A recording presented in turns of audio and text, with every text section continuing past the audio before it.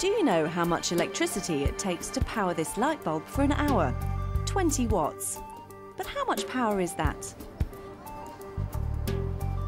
World and Olympic cycling gold medalist Nicole Cooke is on a mission to find out how much energy a typical family home uses and how long it takes to create that power. Like most people, I hear these numbers 10 watts, 20 watts, but I don't know what they actually mean.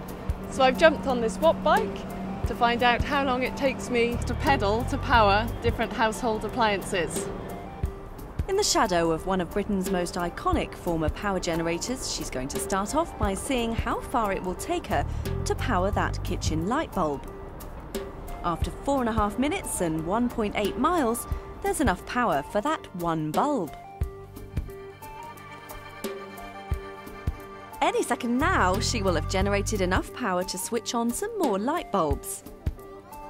There we go. Want a cup of tea? That'll be 31 watts, please, or 2.9 miles, please, Nicole.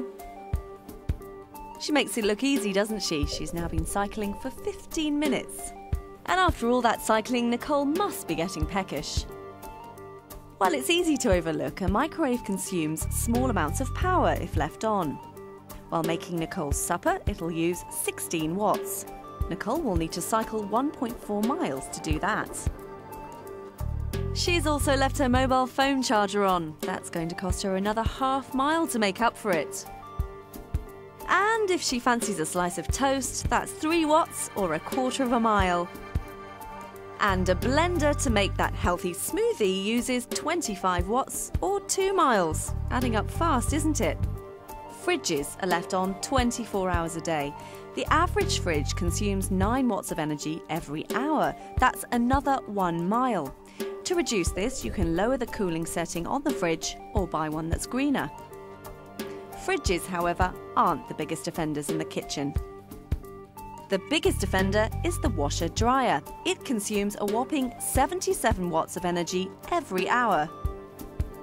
To power all of these appliances simultaneously, Nicole would have to cycle 23.4 miles, taking her just over an hour.